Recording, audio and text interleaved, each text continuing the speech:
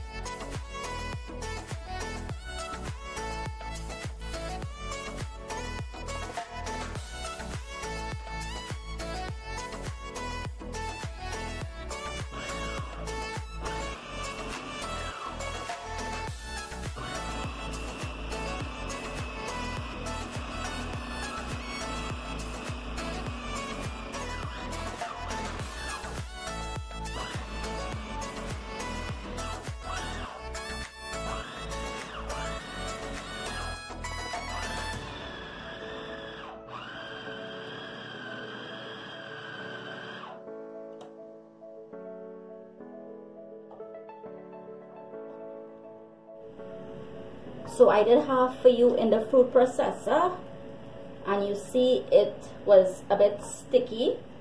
So when it's like this consistency all you need to do is keep adding the flour like about a tablespoon flour in at a time from the top until it comes to um, a nice consistency for a dough. But as it is here it's on the sticky side. Let me give you that closer closer look. It is on the sticky side so I still have my half my other two cups of flour.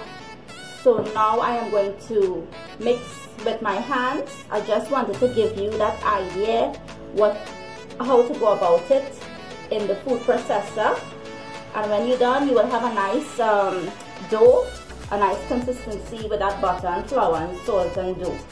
But I'm going to do the other half here now to show you guys. And then I will mix the two together right to show you guys. So we will go in with our flour here our rest of flour. And the rest of our salt and the butter. So I just I'm leaving this little bit of butter just for the end and I'm going to go in with my hands for this. If you don't like the feel of the stickiness of the dough feel free to put a gloves on and use it so that you won't get your hands or whoever has the nails get dirty. So we're just going to mix to get it all together.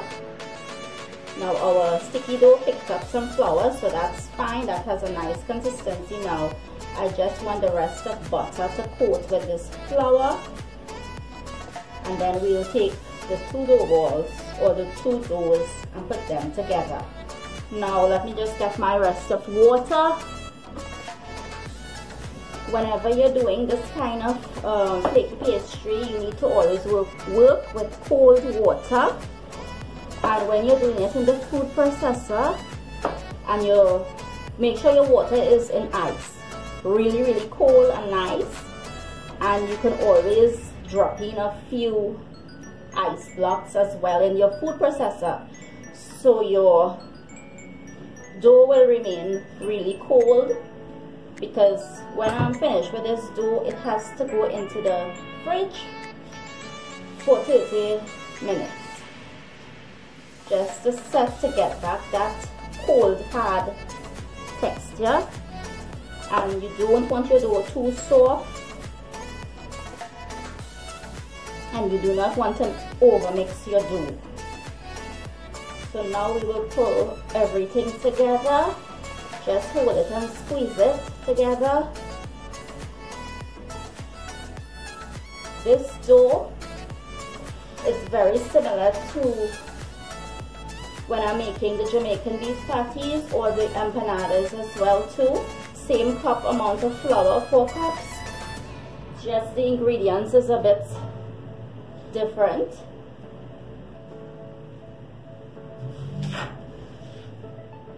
Same amount of salt, same amount of water.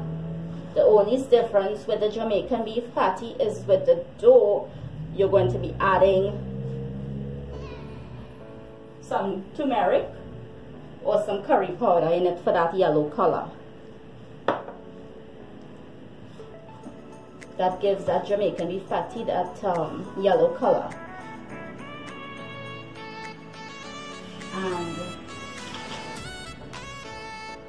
for my um, empanadas, cooking is going to be used with a little bit of brown sugar. That's the difference with the doughs. But it's same amount of flour to salt now we can pull the dough together because it is in one now and you can see those itty bitsy piece of butter right? That is what you're looking for.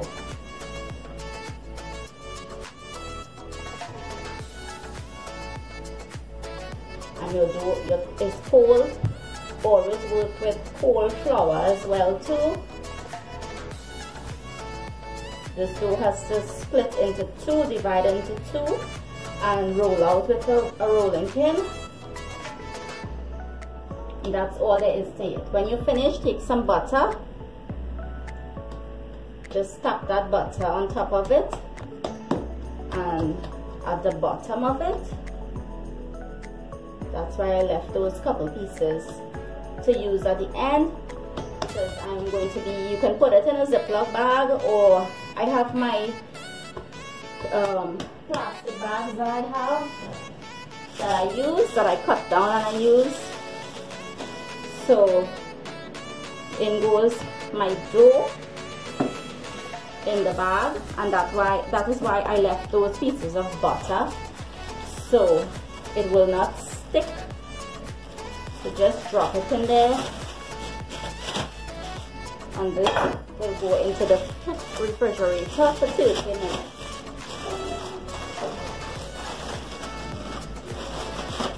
Let it go all the way to the bottom of the bag.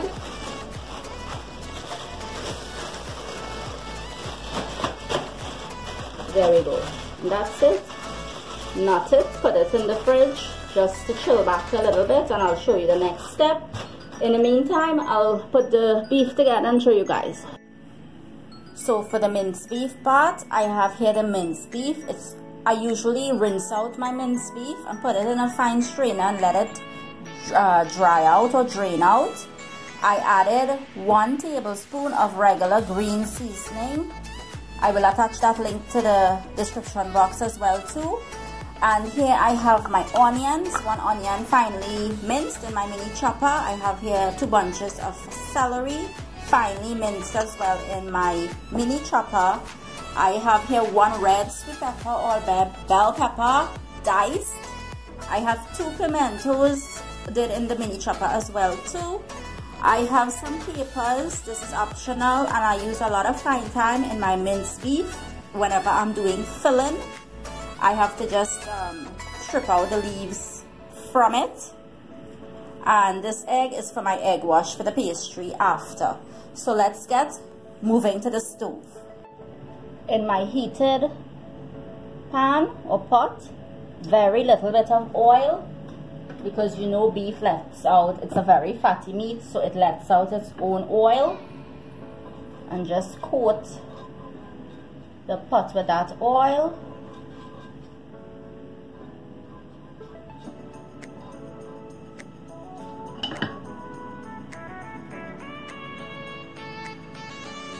In goes my onions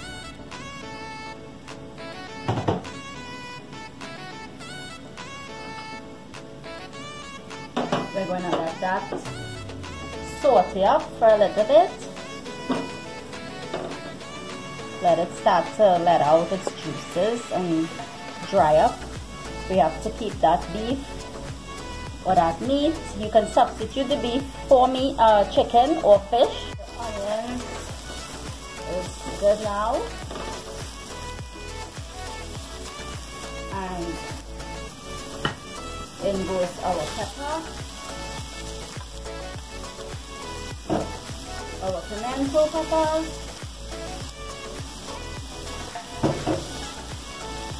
Our fine thyme.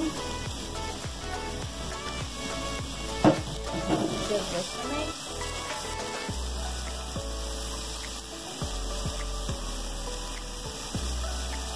And we'll add our beef.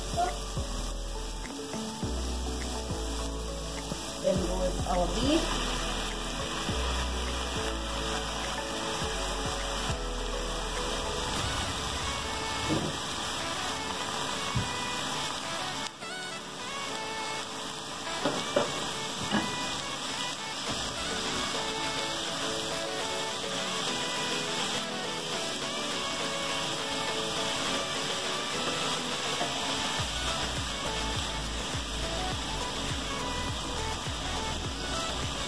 Give it a mix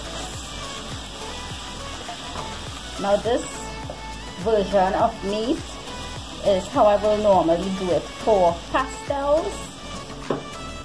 Pastel pie which is baked in one dish or smaller pastels which is also which is you can do it in the fig leaf individual little ones wrap them up in the fig leaf put it to steam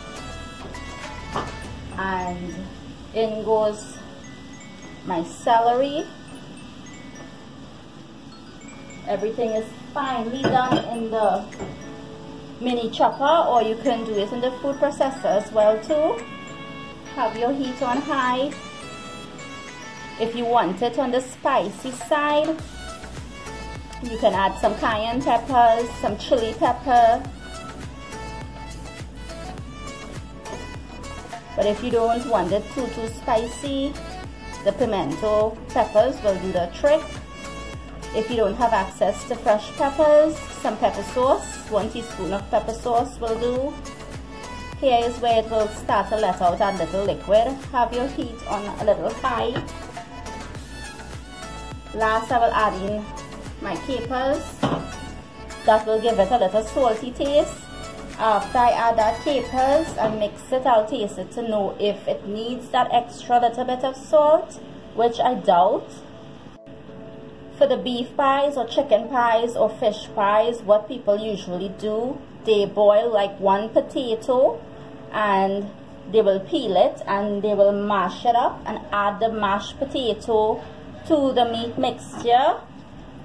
That potato will, they say bind it or hold it together in the pies, in the little pastry pies. But a little trick is if you don't want it like me, my opinion, is I don't want it with that potato taste.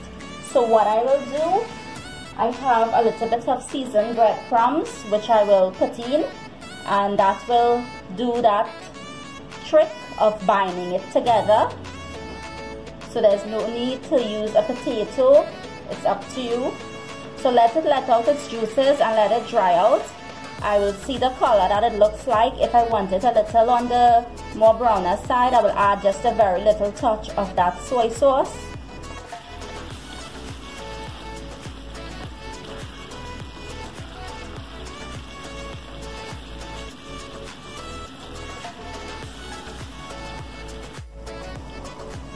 So the liquid is drying out and you see how it's crumbly now when you put this just like this in your in your filling of anything it is going to fall out on you when you bite it. So what I do is I add a little bit of seasoned breadcrumbs. As I said it's a substitute for the potato. I don't want to be eating a potato pie. It's a, a meat pie that I want to be biting into and that will bind it it will hold it together. When it's finished baking it will hold together. And my capers will go in. So I will mix this. This is a filling for a pasta pie. This will be a filling for an empanada pie as well too excluding the capers in the empanada ones all you have to do is add that curry powder to this. And in the Jamaican patty same thing a little curry powder. Will give that taste that you're looking for in a Jamaican patty or in an empanada. And as I said you can make this filling how spicy you want it by adding in the extra cayenne pepper or the chili powder. So I'm going to give it a taste now because it is cooked. And if you find it's a little crumbly still on you, you can go ahead and add a little more of the breadcrumbs. So it has a perfect taste. I'm not going to add any additional salt. I will just add a little bit of breadcrumbs again. I will give you how much I used in the measurements. If you want to make a shepherd's pie or um, a pasta pie with mincemeat, this is the way to do it. Like you boil your pasta and this is where you will add in your boiled pasta and mix it up. For that recipe I used the big shells pasta and it's a very delicious. As I said you can substitute the beef for chicken or fish as well too. And now it will hold better because it's not so much crumbly like how it was. So if you prefer this light color that's fine. But I am going to add maybe a half a teaspoon of soy sauce just to give it a little brownish color or darkish color. And that will give it a little extra taste as well too. You're going to let this cool completely before filling it in anything because you don't want your dough to get soggy with the heat so I'm going to turn off my stove. It is with a little moisture. But um, once it cools down it will get a little on the thick side and dry side. So I'm going to move it out here and let it cool completely before I start with the dough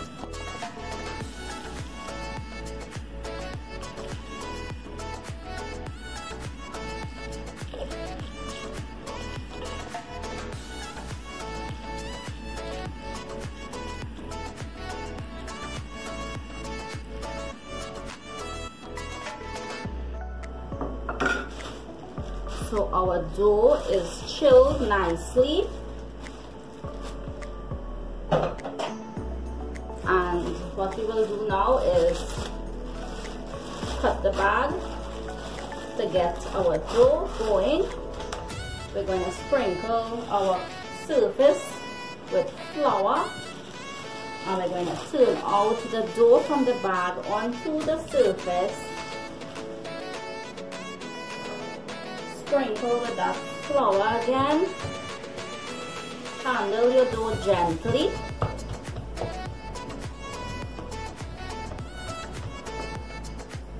Don't be afraid to use that flour we're going to separate. Our dough into two. And we're going to keep one dough in the freezer just to keep it on the chill side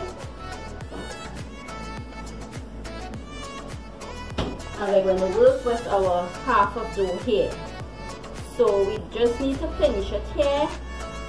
Form it into that dough ball here.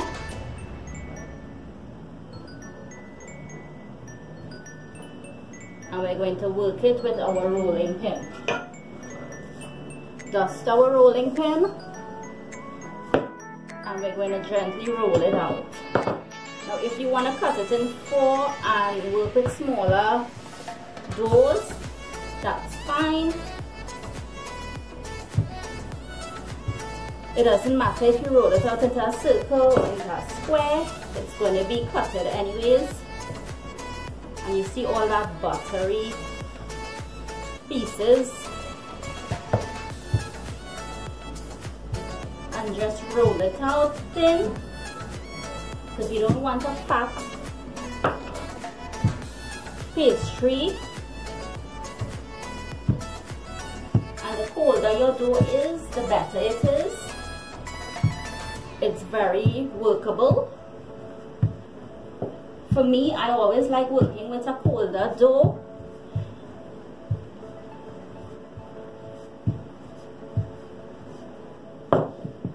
And that's it. So all we need to do is I am going to use a inside of um, one of those mason jars to cut my circles. Because I don't want a too big big pie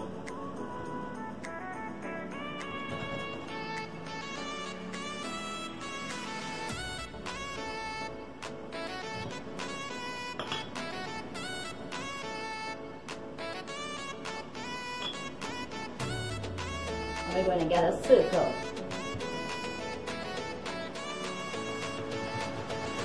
I'm going to keep cutting them out. This is what you're going to get. A nice circle. So let me do one. And show you guys what it would look like. I will do the rest and show you when I'm finished if you have anything with a pattern on top as well too and you want to use it feel free.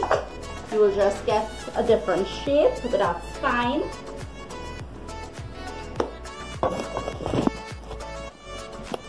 So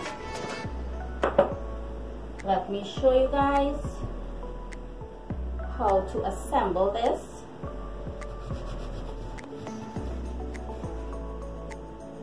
I'm just gonna cut out a few more and show you all. Make sure you have your cookie sheet or whatever pan you're to be using to bake it in buttered. Also if you want to use a pizza tray to do this on that's fine. It's to be better as well too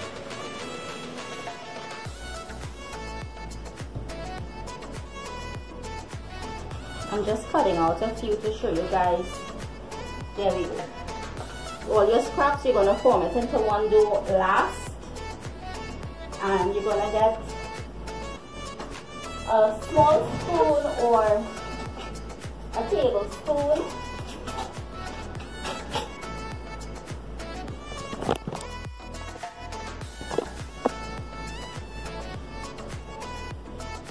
we're going to have our beef at the side. And we're going to use a tablespoon so we will get an exact measurement. Just fill it up press it in clean out the side and put it right in the middle of it. If you want to use a half tablespoon that's fine. You're going to take your other half place it on the top flatten the beef a little bit and we're going to stick the ends If you want to keep this inside to keep it a full circle, that's fine. Just flatten it and press the edges. You're going to have something with a small flat end. And we're just going to, or you can use this side, it doesn't matter. We're just to press it right around.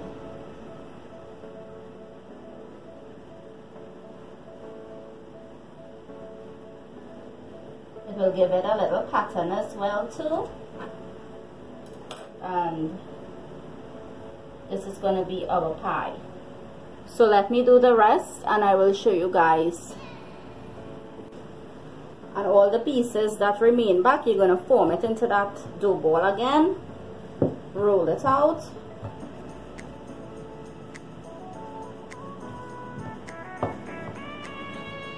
And keep cutting out your circles.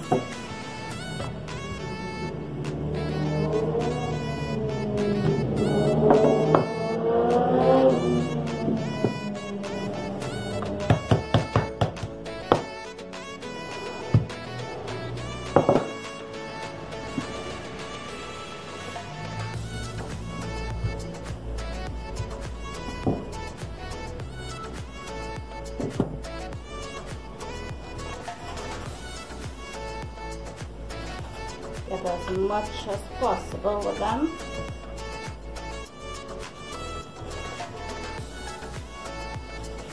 these can work for little appetizers or like hors little desserts.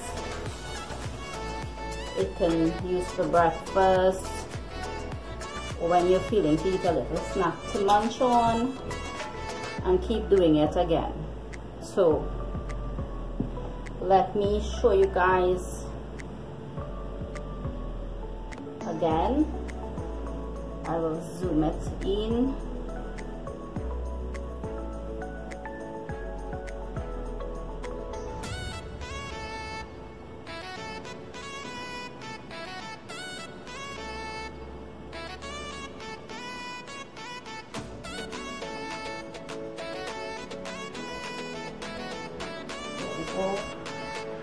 once we start to fill, we will know we'll fill one, put one, fill one, put one.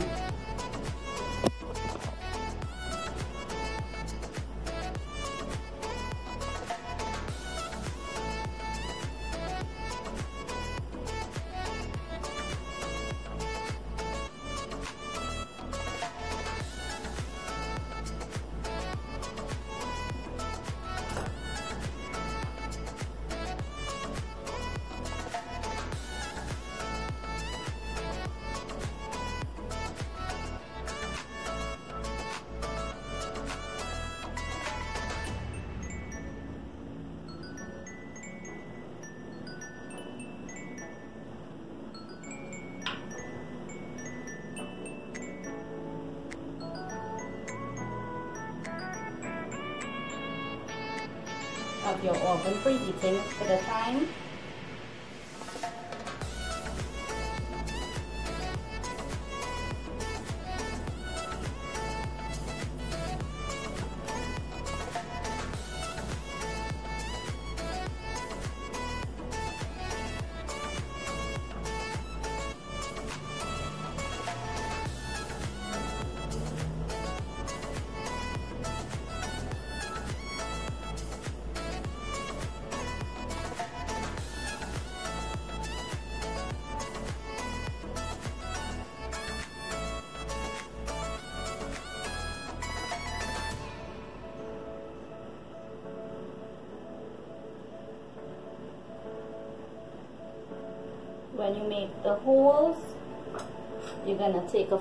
as well too and just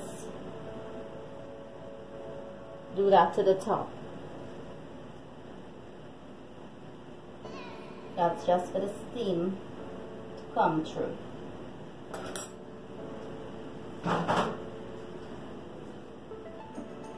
We're gonna line them up. In our pan so I'm gonna do the rest and I'll show you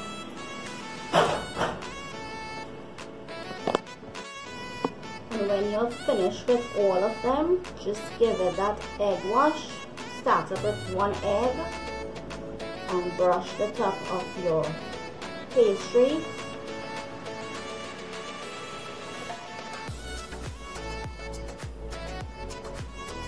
And put it in the oven. Start up at 350 it's not going to take too long to, to bake and you're just to bake it until it's golden brown to the top. Maybe about 30 25 to 30 minutes. So let me finish all this put it into the oven. I'll show you in between